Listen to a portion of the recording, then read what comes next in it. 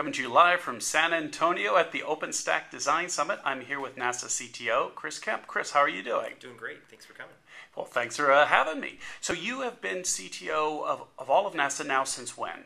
Uh, CTO for IT since March, uh, actually April of 2010. So, we've been doing it for about six months now. And then before that, where were you? Uh, before, I was the Chief Information Officer at NASA's Ames Research Center in Silicon Valley, and I had done that for about three and a half years. And at that point, uh, I think you were working on working with some of the code that uh, that we're talking about here at the OpenStack uh, Summit. Can you talk a little bit about that? Sure. So uh, about two and a half years ago, we started working on a project which is uh, now known as uh, NASA's Nebula Cloud Computing Platform. And one of the first things that happened as I became CTO for IT at NASA was I got a call from the folks uh, at Rackspace about OpenStack, and we had just released some of that source code uh, as an Apache 2.0 uh, release, and they wanted to include it in OpenStack. And uh, obviously, they didn't even have to really ask me, but they, they did. So I said, that sounds great. And uh, now we've had uh, thousands of developers contribute thousands of new features and bug fixes to our to our code. We've used a lot of that back at NASA, so we're really excited by the uh, response to the to the code base.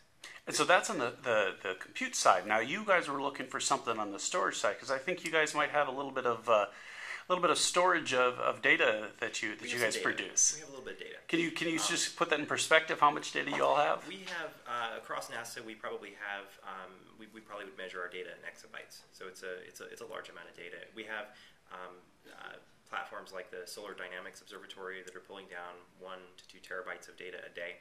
Uh, we have supercomputers. We have the fastest Intel-based supercomputer on the planet uh, that can easily uh, spin off many petabytes of data uh, in a run. So uh, really, it's just a matter of how much we save, how much we have online, um, and uh, how much we have to throw away from, from all these space missions. So the more storage, the cheaper storage is, the more data we can make available to scientists and also to the international community of people we work with and collaborate with. And so, how is NASA actually working then with the OpenStack project? Yeah, so that's a great question. Uh, we released this uh, the code. We, as, as you mentioned, there was a um, really uh, serendipitous thing that happened. We were uh, about to start working on a file system project, and uh, Rackspace uh, was planning on open sourcing their their storage system, um, Rackspace Files, as a as a new project.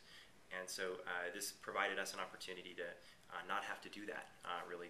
So we were um, we were about to embark on developing a an object store and a file system for the Nebula project. And uh, so this, this OpenStack project allowed us to take our computing engine, combine it with the Rackspace file system engine, and have a complete cloud stack uh, foundation. So um, yeah, we're, we're just actively participating in the community. Um, we're releasing a lot of our code back into uh, the open source community. In fact, we just have been working really closely with our uh, folks back in Washington, D.C. to um, make it possible for NASA to contribute um, as, a, as a real partner and, and, developer in the open source community by doing continuous open source release, which is a first in the federal government.